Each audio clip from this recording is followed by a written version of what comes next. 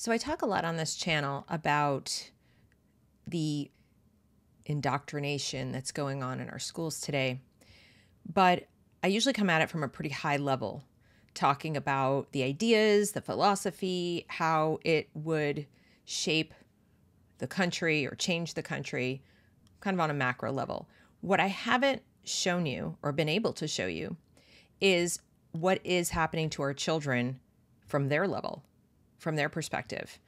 I haven't been able until today to show you an example of what's happening to the psychology of our kids because of all this stuff.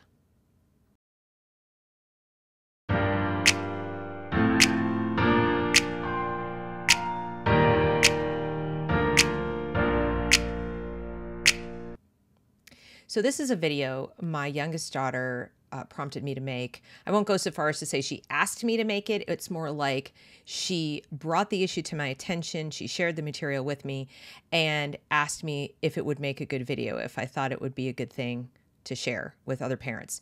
And I, I thought it would. And then she said, okay, and proceeded to share the information with me. Um, this isn't about the names of the individuals involved, so their names have been removed. That's not what this is.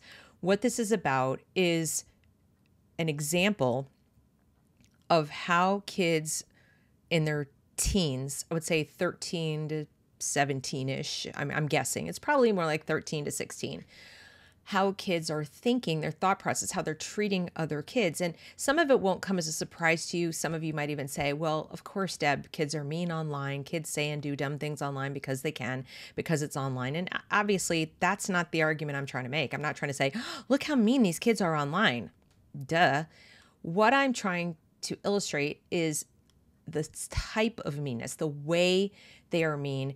I think it's bizarre. I'm going to show you these examples and I'll be curious to know in the comments what you think. But I personally think this is a sign that something is going very wrong in our culture when it comes to how we teach our kids to think about the way other people treat each other and the way, the way they treat other people. I find a lot of this really ironic. They're doing a lot of criticism of someone whose intentions they don't know, and they're uh, they appear to be projecting quite a bit. But let's let's get into it. So here's what happened. There is a song by Childish Gambino called This Is America. And I'm not going to play the official video for you, but you can go watch it. I'll put the link in the description box. It is quite graphic and violent and controversial. The music is sort of upbeat and calypso style, and the movements. I, have screen, I've sort of frozen the screen here so you can see his body movement, and there's a reason for that, which you'll soon find out. But this song has caused quite a controversy amongst different people, you know, culture analysts, parents, etc., who are trying to figure out exactly what it means when he says this is America and there's a lot of gun violence and commercialism and materialism in it. So, you know, on the surface it seems like harsh social commentary and that's fine. But what happened was a member of a K-pop band, I think it's Stray Kids. I think it is. Okay, she's probably going to be texting me furiously. What? How could you forget? Okay, so I think it's Stray Kids. But a member of this band was dancing in a way, and I believe it was two years ago. That's the interesting thing. I think it was two years ago that he was dancing to this song because you'll notice this this date is 2018. So two years ago, there was a little film made showing the band member dancing in this style with similar music playing behind him. But apparently it just recently surfaced. I think they're about to have a comeback or something, the, the K-pop band. And interestingly enough, coincidentally enough, this thing surfaces now, right as they're about to have a comeback and who knows what the motives were for surfacing it, who surfaced it, whatever. But on a special app, I think it's called Bubble, that kids have to pay to join. It's not free and it's not entirely inexpensive. My daughter got it as a birthday present from her dad, but you you have to pay so you can go in there and then you actually periodically get to have short conversations with some of the band members. They'll reach out and kind of respond to some of your posts. So it's it's a you know, it's a little narrow group of people, but not that narrow. We're still talking probably about millions of people. Um, and between those ages across the world, but primarily the United States. And this is this surfaced and you'll see some of the reactions. So first what I'm going to do is show you the some of the video reactions, okay? So first thing, we have a video. What they did was they grabbed his video and then reacted to his video with their own videos. So here's one of them.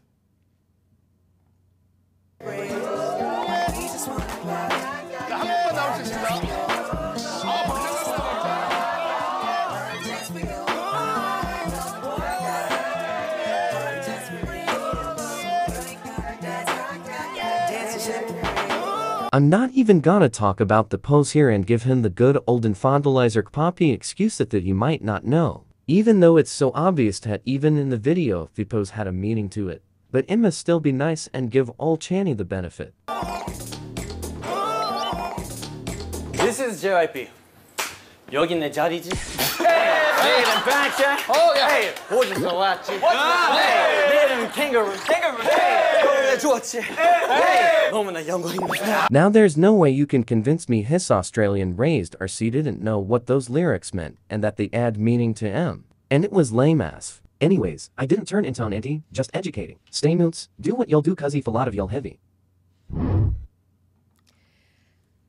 Now, you probably didn't understand half of that. I sure didn't. But if you read some of the subtitles and you read the words that they obviously use a different voice that couldn't read properly, um,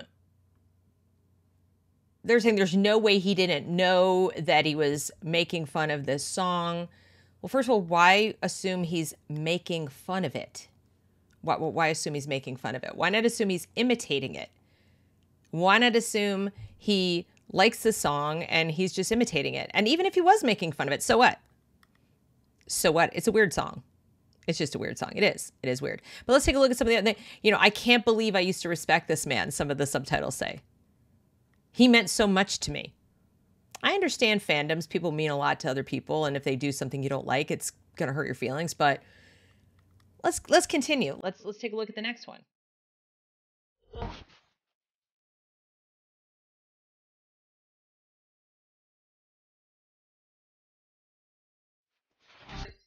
So I'm going to read this to you. That's just the music behind it. Chan's apology was nothing but a joke. He apologized on Bubble and POC stays. Stays are fans of this band. Okay. People of color who are fans of this band need to buy the pass for them to be able to see an apology. In other words, you have to pay to be in Bubble to see the apology, but the video was probably anywhere. So I don't understand. Like he apologized to his most loyal fans who are on Bubble and now they're upset because there'll be POC who are not on Bubble who won't see the apology. Mind you, he was not supposed to apologize, according to my daughter. He would have to ask his company, the company that he works for, if it'd be okay to apologize to this mob. And he didn't. So he actually put himself at risk of getting in trouble for apologizing, which personally we all agree he shouldn't have done. And I'll show you the apology shortly. But they're upset that people would have to pay to see his apology. So now they're even more angry at him because how dare he imitate the dance and then how dare he make you pay to read his apology when he thought he was apologizing to his most loyal fans, not just every random black person on planet Earth. If he truly sorry, no verb, he would post it on Twitter. Y'all need to stop saying he didn't know. Yes to F, like yes TF, he knows. Some of you stays gotta FR, stop for real, I guess. Stop saying that he's a human and makes mistakes. Some of you have to stop saying he's a human and makes mistakes. And by the way, this was kind of a majority opinion that we're not supposed to forgive him as a human being that he makes mistakes. And that's again, if you assume he made a mistake and didn't know and think that even if he did know, it's a big problem. I personally don't understand why it would be a problem if he did know. So what? We don't have to like everything. We can make fun of things if we want to. Mm-hmm. Yeah, that's what pe- free people do. Um, okay, the group messes up. Not only that, but suck at giving apologies. Okay, so don't don't fan them anymore. Don't don't stand them anymore. Whatever you do, don't do it. Just stop listening, stop buying the albums, move on your merry way to another group. They don't owe you anything.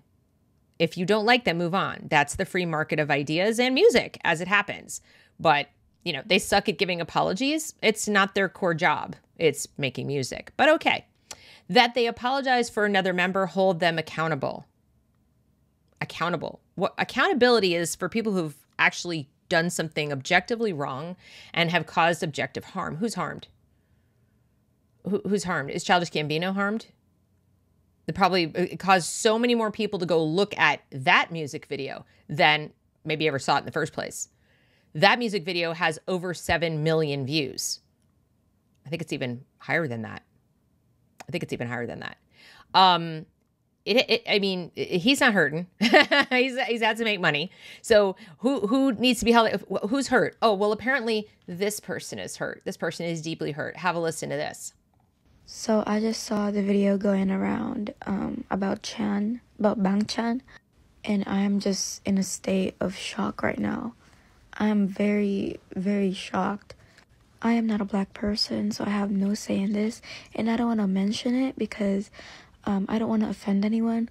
But my heart goes out to all of the black stays because I just can't imagine what they're feeling right now.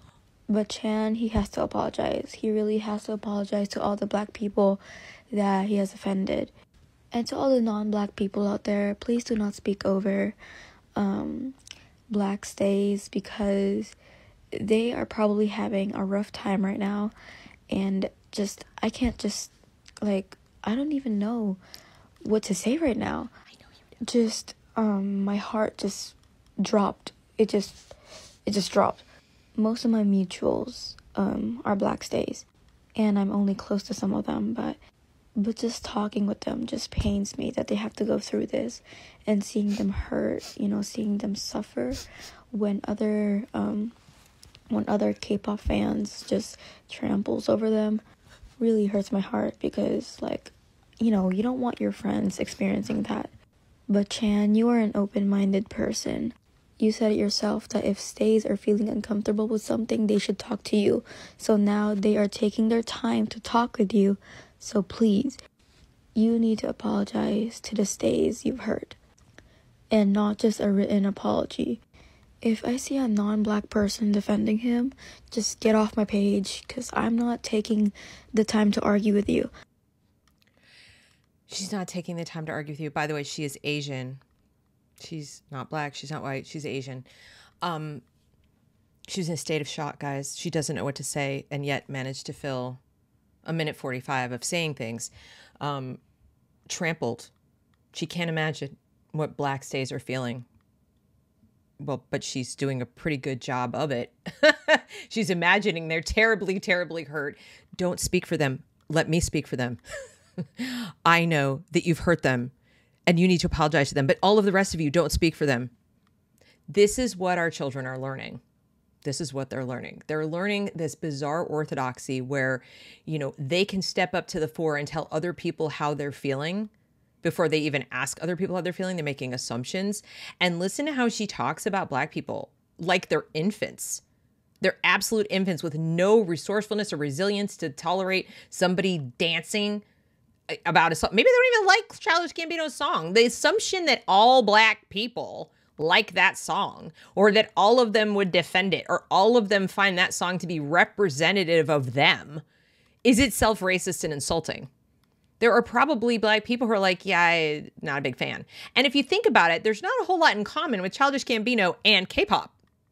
Not a whole lot in common. So this notion that, you know, if you're black, you like all the same music of all black people. And anybody who's black and happens to make music is somebody you like and are a fan of, and you have no qualms with what they're doing. We don't know that. I don't know that. She doesn't know that. Nobody knows that because nobody can speak for an entire group of people, for millions of people. And she seems very comfortable telling people who are not black what to think and say and do but she's doing a whole lot of speaking for a whole lot of people and th- doing their thinking for them too. I can't imagine what they're going through and the pain they're suffering. What if they're not suffering any pain? And then, of course, they are because I'll show you some messages. When I say they, there are a few people who are complaining. But because it's the internet, because it's online, we don't know if it's, you know, these 20 or 30 people, 100 people, 1,000 people. We don't know. We don't know how it is. We don't know, given that he probably has hundreds of millions of fans how many of them are black, and how many of them are actually upset. So he should debase himself and apologize for something he never intended as a bad thing at all. To, you know, to what? Please these few people? It's absurd. That's not even how that that wouldn't be appropriate because you're just reinforcing the fragile feelings of people who need to toughen up and be stronger. They need to be stronger because none of this is reality, guys. Childish Gambino made a video. It's not reality. It's not about something that happened to a real person. It's video. And none of this is real. The imitation was just for fun. This is how emotionally involved they're getting in the unreal and how they're talking to other people about things that aren't real. Well, well let's continue. Okay, so we've seen that. And here's another one.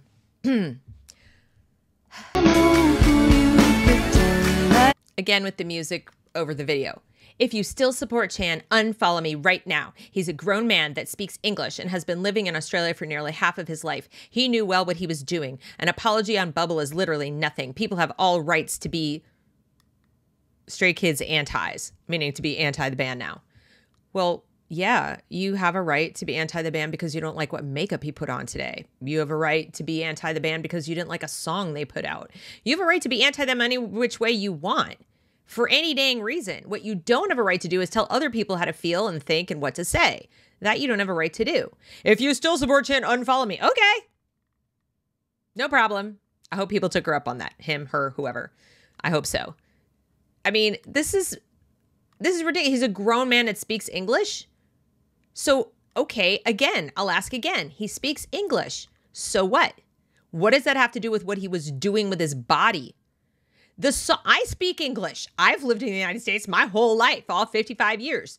I know all the history about all the issues that he was allegedly depicting in his video, and I still don't understand the video. I looked it up online. I read four or five articles about the video. People can only speculate. You know what he said? He said, I set out to make a good song that you could maybe like play at the 4th of July. So we don't even know what he meant by the video.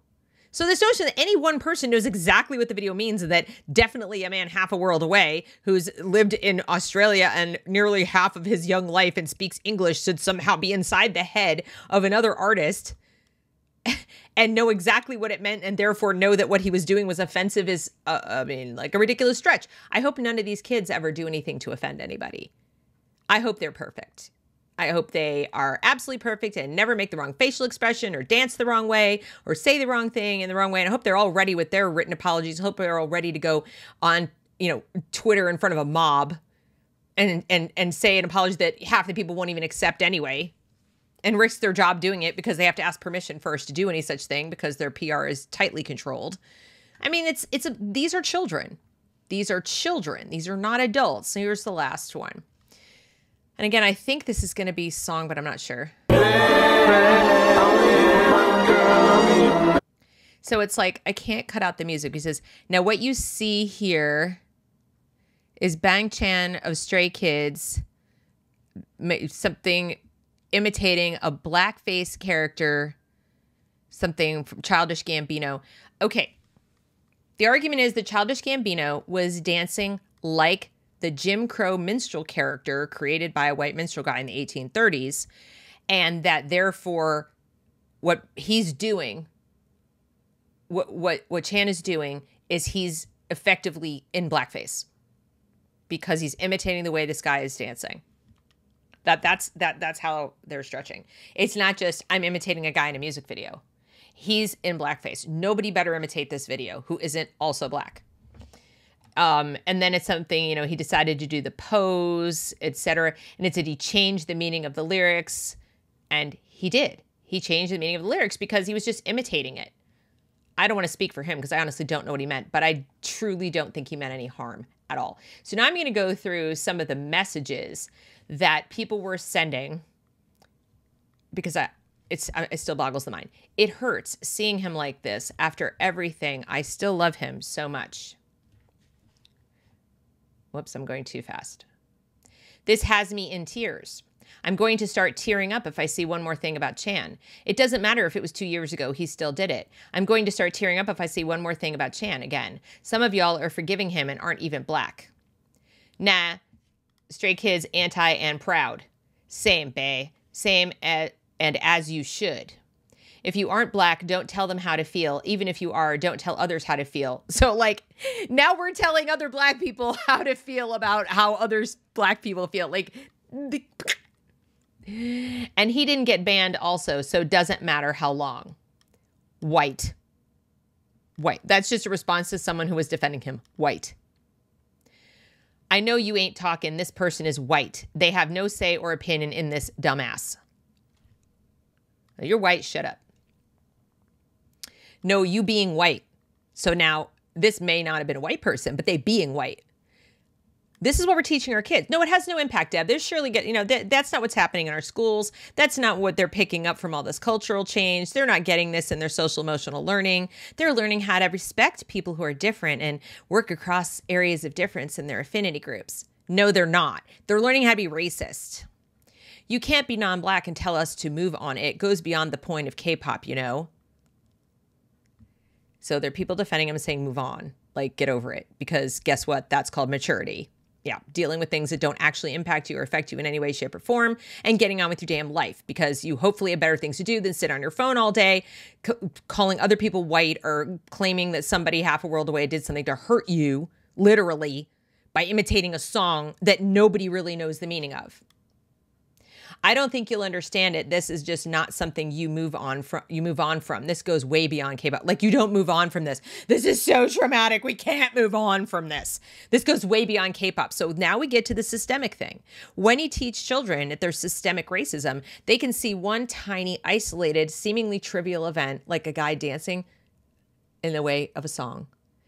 And this is somehow emblematic of systemic racism. It goes way beyond K-pop. Doesn't elaborate, but we can assume that's what they mean. Because otherwise it doesn't. It doesn't make any sense otherwise. How does it go way beyond K-pop? In what possible way does it go anywhere past K-pop? It doesn't, like at all. I'm glad he took the time to apologize, but I don't know. I think he needs a, a break. So he needs to stop working. He needs a break. What? He needs like a mental evaluation because he hurt your widow feelings at doing what? Dancing? Maybe you need to grow a spine. Maybe you need to do that. Maybe you need to get another hobby other than gazing at the lint in your navel and thinking you are so damn important that you get to tell people who are more productive than you will ever be what they should do with their time. Maybe. I mean, you know, or maybe just jealous. Maybe just jealous of how successful and gorgeous and talented they are. And you got to sit and find something wrong with them. So you make like you're a fan until they hurt your feelings. But, you know, did they hurt your feelings or did somebody contrive a way that they hurt your feelings? To get you all riled up. And that's another thing. It's pretty easy to rile these kids up. When you're offended by everything, you are very easy to manipulate. You're very easy to manipulate. I why don't you just put shackles on your ankles and make yourself a slave again? Because all that someone has to do is say, "Oh, you know what? They're not going to be able to sleep at night. All we have to do is make it look like one of these band members did something insensitive to black people. They won't be able to sleep. They won't be able to function. They'll be telling everyone what to do. They'll be fighting amongst themselves." said the leader of the competing band or competing company or whatever that wanted to manipulate this fan base. Could have happened. We don't know, but it would be that easy. Same. I'm taking a break. Yeah, you probably should. Black Stays, how do y'all feel about Chan's apology? Honestly, I'm glad he apologized quickly and didn't let us suffer. Also, I accept his apology, but I don't know. I might take a break from him. He won't notice because you're inconsequential to his existence. I know that's hard to believe because you pay for the little app, but it's true. Yeah. He he he cares about his fans. He doesn't give a flying, you know what, about you personally. Doesn't. Sorry. I'm sure he's a very nice guy, but he doesn't. You know why? Cuz he can't. Because if he did, he'd go crazy. Just like you. What do you mean take a break from him? I don't get it. LOL. Not pay any mind to him like be OT7 and I'll be OT8. Like OT means something like um, I don't remember what the OT means, but you're either like standing all eight of them or you're only standing seven of them. They have a whole code language apparently.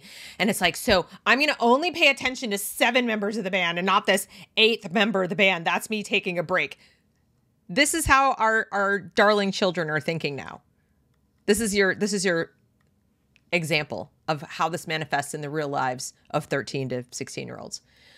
I don't think being OT7 is the right thing to do. They're still eight, and you can't just ignore a member. Don't tell me uh, what to do. I never said I wouldn't support Chan. I'm just saying I'll be OT8 when I'm ready, just not right now. Like, what difference is it going to make to anyone? Like, what what does that look like? You you tweet one or you you you bubble message one fewer time you you don't look for you, you remove him from people you want to talk to nobody cares literally nobody cares but they don't know that they think this is very consequential all the things happening in the world and our children think this is important but you know they're oppressed hey, she has all the right to be mad at Chris and what Chris did was wrong. Now, this is somebody else.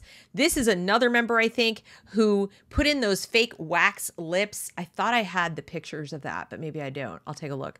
He put in these fake wax lips to imitate a Korean cartoon character who's like the wife of somebody and has, has these big lips. He was imitating a Korean cartoon character. They assumed it was blackface because they're ignorant. So they're telling a guy in Australia what he knows and how he speaks English, and that means he knows what everything means in America. But they don't even know what a Korean show means, and they're accusing him of being racist because he put wax lips in. You remember those wax lips we used to play with when we were kids? Apparently now having big red lips is black, I guess. It's about the Chan situation. I can't even sleep. I can't sleep. Stray Kids, honestly, disband. disband. My heart is broken. I'm not black, I'm Hispanic. And what he did was so wrong. And I'm really disappointed and I'm still upset. Do we believe any of these people? Same here. I'm so sorry to all offended. And I'm so shocked right now. This is what I picture them doing. I am so shocked right now. I am so offended. Mom! So I'm so sad and I can't even sleep. How do you spell sleep? Chan really needs to apologize as soon as possible. I hope he deeply reflects about what he did because we can't spell about out, but we can spell deeply and reflects what he did and gives out a better apology to those he offended. So now it's not just he he said his apology in the wrong place. Now his apology wasn't good enough. Wasn't good enough. Oh my god. I love him, but he should know better. He's a full-grown man. Here's his apology because I know you're all wondering, well, what did he say, Deb? Like, what did he say? Stay. As a member of Stray Kids, Stray Kids everywhere all around the world, it's a very precious slogan. Even if my intentions meant no harm, that doesn't matter at all because there are people out there who were very, very hurt by my decisions. I should have thought it out more thoroughly and clearly before initiating those actions. I should never do a spontaneous, fun thing again in my life without consulting with you, my fans. Would this dance be okay? Should I hold my head this way? Will me puckering my lips offend you? Should I eat this kind of candy or that kind of candy? I should give it more thought. I really maybe should lock myself in a bubble wrap room until I get your opinions on everything. Maybe, you know, I should just die. I mean, this is ridiculous. Oh, God. Once again, I am very sorry and would like to ask for forgiveness to those who have been offended. We stray kids do not support any racism in any form and matter. And they've said that like a million times. And they've demonstrated it. They go out of their way to do things that are clearly anti racist, anti bigoted in every possible way. I mean, you know, my daughter wouldn't be fans of them if they were anything other than that. So it's like ridiculous. Um, Stay, as you all know, I'm still lacking a lot in many aspects. I'm human. but when the unconditional love and support that I receive from Stay is I but but with it, I can keep chasing my dreams to become a great artist and overall become a better human being. Stay, thank you so much for everything that you've done for me. This was not a good apology according to them.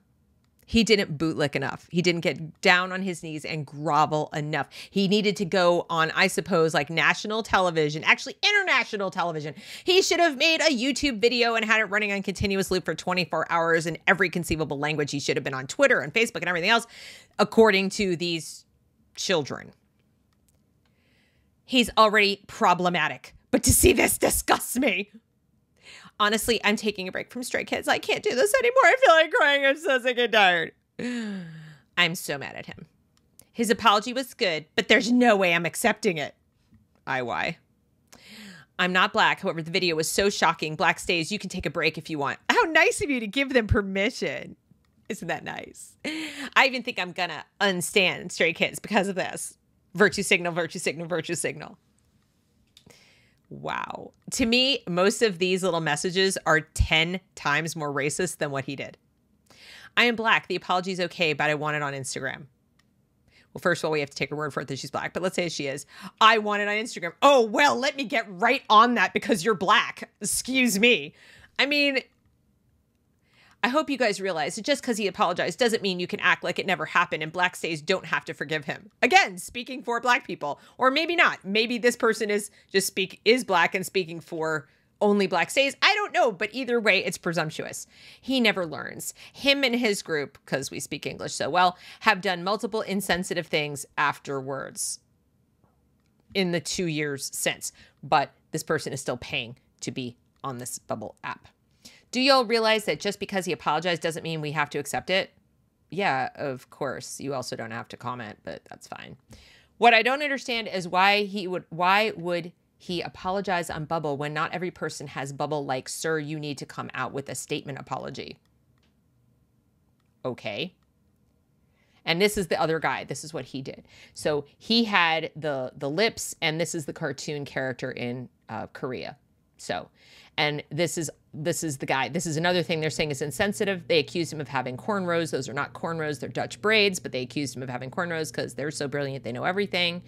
This is, um, I believe, the guy, one of the guys who's getting accused of racism. He's just a regular kid, right? This is the guy who put the wax lips. And this is another one. I think this might be the guy who did the dance, but my daughter will correct me, I'm sure. Um, in any case, that is the story of the K pop scandal and the kids who have been influenced by all of this critical theory into believing that they can be judge, jury, and career executioner of someone who produces more, has more talent, and more decency and more caring and feeling in the tip of his little finger than they have in their entire bodies. But whatever, this is what's happening. So if you want to know like what happens to the kids at the other end of this kind of teaching, that's what they become. That's who they are. Do we really want a nation full of people like that?